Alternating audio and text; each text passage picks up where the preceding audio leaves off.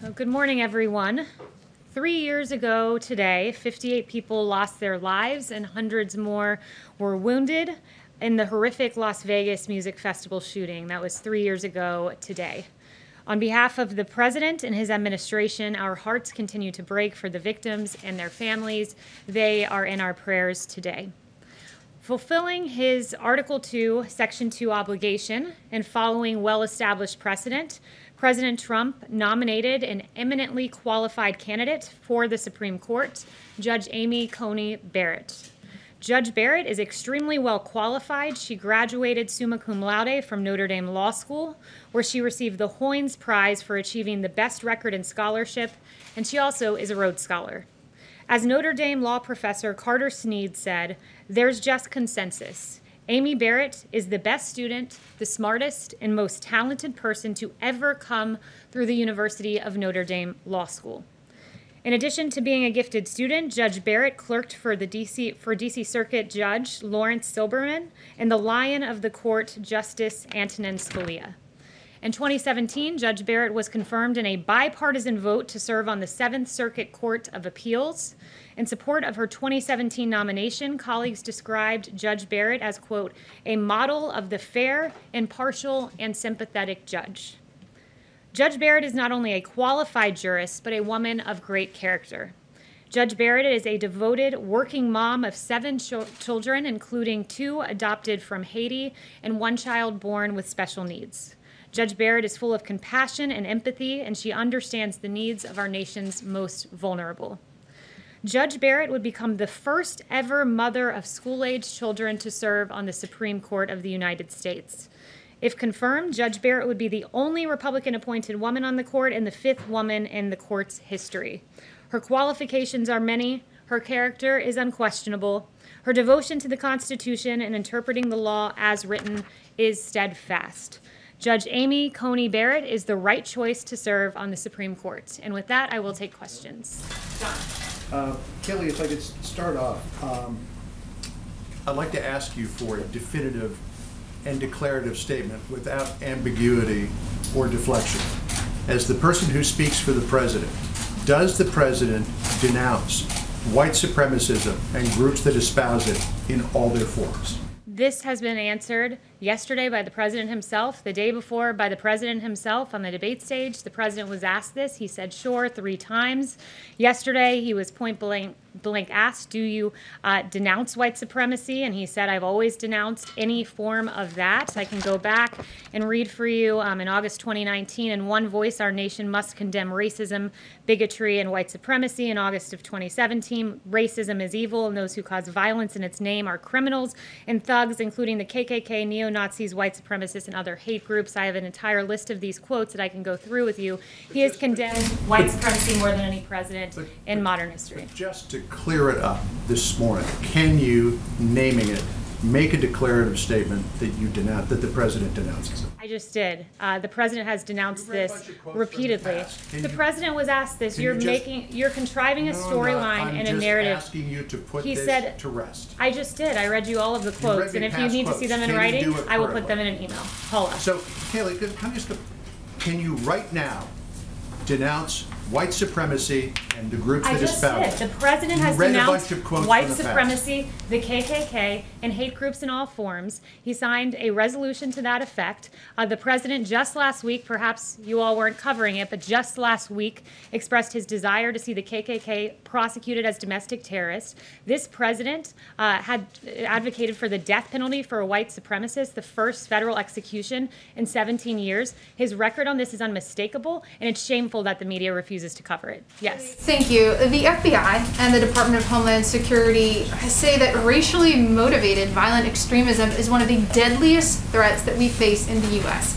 Does this White House agree with that assessment, and what is it doing to combat this threat?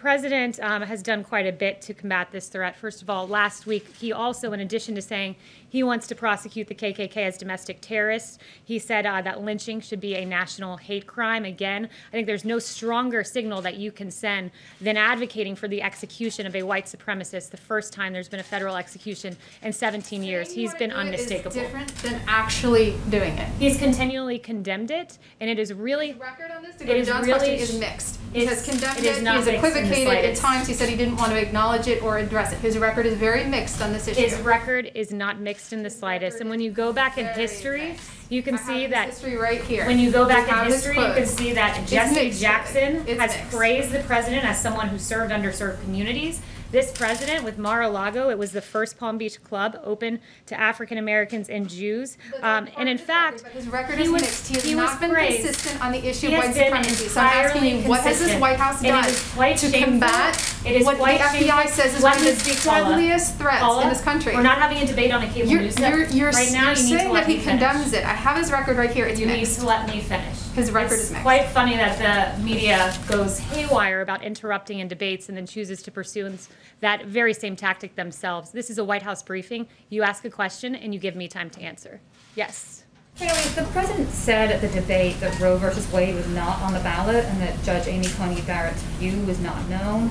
She signed a newspaper ad in 2006 which called for, quote, an end to the barbaric legacy of Roe versus Wade. And the president has explicitly promised to support judges that overturn Roe. Was he downplaying her views on Tuesday night? And what do you say to the American public about whether Roe is on the ballot? Uh, the president has been clear that he would never ask a judge to prejudge a case.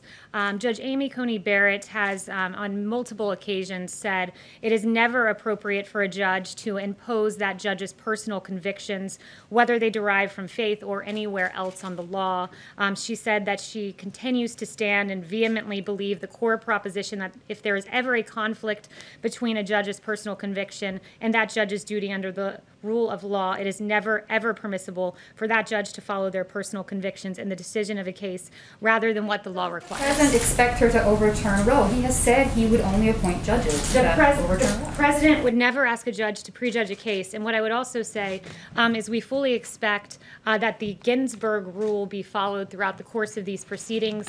Uh, it was then Senator Joe Biden who set the Ginsburg rule um, in saying that there are no questions on how Ginsburg will decide any specific cases that may come before her. Um, and Justice Ruth Bader Ginsburg indeed um, applied that rule throughout the course of her hearing on the First Amendment religion Say clause that her views are not known, if they are Yes. very clear. Will the president commit to participating in the next debate before the commission changes the rules? Um, first, with regard to the commission rule changes, the president um, made clear his view on that yesterday, that he thinks the only way there's a fair debate is change in the moderator and a change in the Democrat nominee. He wants to debate. Um, he plans on being at the debate, but he wants the rules to be fair and wants a fair exchange and doesn't want rules that cover for a certain candidate's inability to perform well. Yes, Thank you, Haley. Can you explain why it's appropriate for the president to be uh, holding rallies this weekend in two areas that this White House has declared to be red zones in Wisconsin? Yeah, so um, the president believes that um, people have a First Amendment right to political speech. Um, he is having a rally. People can choose whether or not to come. The governor has, has begged the White House to please not continue having events like this. Your own coronavirus task force says this is an area that people need to be really careful in, double down on social distancing. So why is it right for the president to be coming in there and holding another rally Well, or two rallies? We employ measures um, to protect rally goers. Um, we encourage. We've all covered these rallies. and These people are shoved together. There are thousands of people standing close to each Did other, you watch not the wearing Democrat masks. nominees rally yesterday? There was no social distancing there, so I assume you guys expressed the same uh, line of questioning uh, to the Democrats. But what I would say is this: is there really seems to be two standards of health in this country, one for Trump supporters and one for everyone else. Uh, you had 1,300 health experts literally sign a letter that said, "We do not condemn these gatherings." Speaking of the protests that we all saw play out, we do not condemn these gatherings as risky for COVID-19 transmission. We support them as vital to the national public health. So it's vital if you're protesting, uh, but somehow political speech is no longer vital when it comes to a Trump supporter. Caitlin. So the Proud Boys are people who consider them to be members of this group. Give voice to these misogynistic, Islamophobic, anti-Semitic, anti-immigrant views. They're a despicable group by pretty much anyone's standards. standard. So when the president was asked about them and you say he denounced them, that's what you're insisting that he did on the debate stage the other night. If that's the case, then why are they celebrating what the president said on the debate stage in front of millions of people? I don't speak for that group, so I'm not sure why you're asking me why they're saying a certain thing. someone denounced you, you probably wouldn't put it on a t-shirt and make badges of it, right? The president did denounce them. He was asked, "Will you tell them to stand down?" He said, "Sure." and Went on to By, stand. which seems like an instruction. He said stand back, and then just yesterday when he was asked, he said specifically stand down, um, a synonym with stand back, and the president said sure when asked by the moderator whether they should stand down. So No, again, said- another, it's, it's really interesting too to see that the media seems to be the only one putting the names of these groups into headlines, into media reporting. Uh, he didn't know who the Proud Boys were. First time I heard of them was in the debate, uh, but the media uh, continues to put these names into circulation and give them a lot of public attention. given about Justin. 12 hours more than that since from the debate from when he was asked to clarify yesterday. And he didn't come out and clarify yesterday. Instead, he did what you did when John asked you to unambiguously denounce these groups. You just pointed to past things that you've said. You can't, I just don't understand why you knew you were going to get these questions and you don't have a statement ready to just say, we do unambiguously denounce these groups. Caitlin, you know what is- reporters that we welcome." Do you know why people have lost trust in the media? There was a reporter from your network yesterday, your network, and in a tweet said, quote, the president. I'm asking you a question. What I I'm don't even know what you're going to bring up, but that has nothing to do I with what sat I'm asking you I right now. sat here when you lobbed your partisan attack question, so you will allow me to give an answer. The president and someone from your network said yesterday in a tweet, the president dodged a question about white supremacy. That was a tweet from a CNN reporter. The president specifically, verbatim, was asked yesterday, white supremacy, do you denounce them? To which he responded, I have always denounced any form of that. Those are the facts. And CNN, I know that truth is of no moment to your network, but those are the facts. And that Facts. Why are shameful of your reporting. Republicans, Republicans Justin. are calling on the Thanks, president to be more forceful. His Justin. own party. Thanks, Kayleigh. Um, I had a question about unemployment, but I first wanted to clean up something from your opening. You said Judge Barrett was a Rhodes Scholar. I'm, I'm not sure that that's true.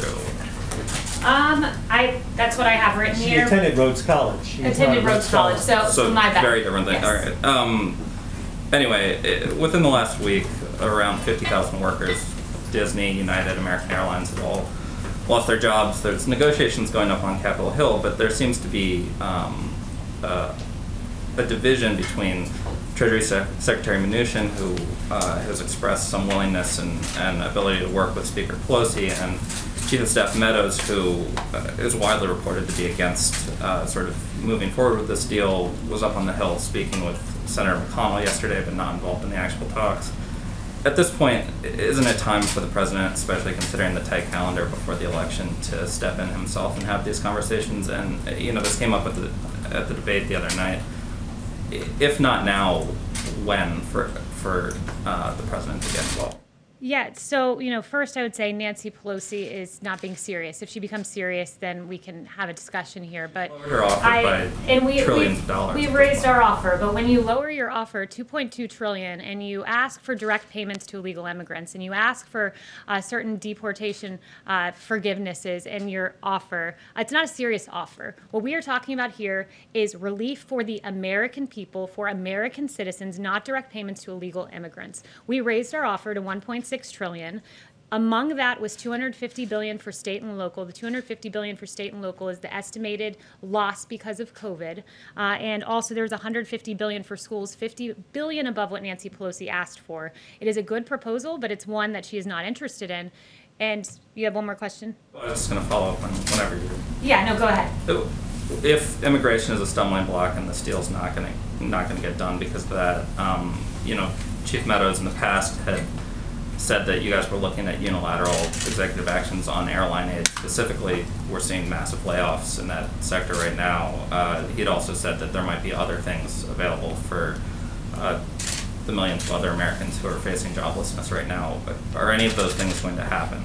Yeah, it's a, it's a great question. Um, and it's very sad to see what's happening in the airline industry. I met a few of the airline workers on a flight who uh, would lose their job, and their, their job loss 19,000 people facing layoffs is because of Nancy Pelosi. The White House, right now, you talk about unilateral action. We are willing to look at a plan uh, legislation that is just clean legislation to protect those airline workers. Nancy Pelosi, um, rather than playing election partisan politics, should come to the negotiating table. Let's consolidate around things we agree on. And I think something we can agree on is 19,000 workers should not lose their job in the airline. So it's incumbent upon Nancy Pelosi to engage with Secretary Mnuchin and the Chief of Staff um, on making that a reality.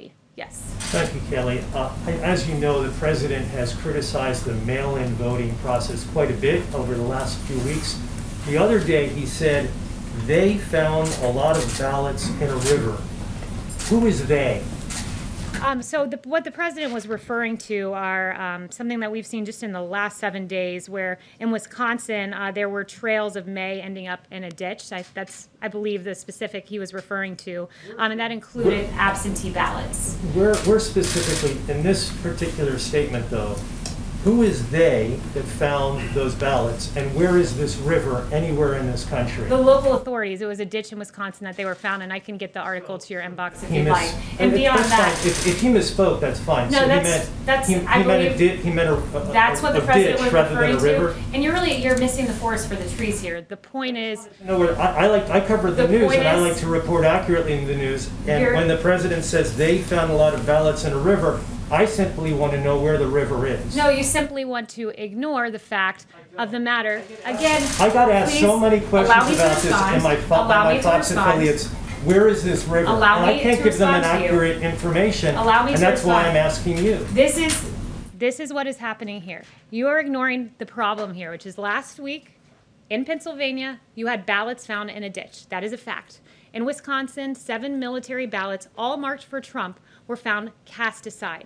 There are problems with mass mail-in vo- voting. I under I actually don't understand the lack of journalistic curiosity and reporting on this. There used to be the there used to be curiosity. In fact, the the? Washington Post before President Trump uh, highlighted the problems with mail-in voting. They said the result was an unexpected stress test of mail balloting systems when this was tried, many of which were designed to handle only a small portion of the vote and are not ready to scale up in response to the pandemic. So the media once said mail-in voting is not ready to scale up in the middle of a pandemic. Now there's no journalistic curiosity when we're finding He's Trump asking ballots you about it. cast aside. There's no journalistic curiosity when a I'm asking you where the river is and you can't give an were sent out if you- if you say the Uh, they president were meant ditch, ballots, and then then say he meant a 100,000 more. I just wanna know where the river is. Filibustering and lack of journalistic curiosity. I'm Yes. very curious. Where's the river? Yes. That's curiosity. Uh, Kayleigh, Senator Tim Scott uh, said the president misspoke at the debate on white supremacy. Did he misspeak?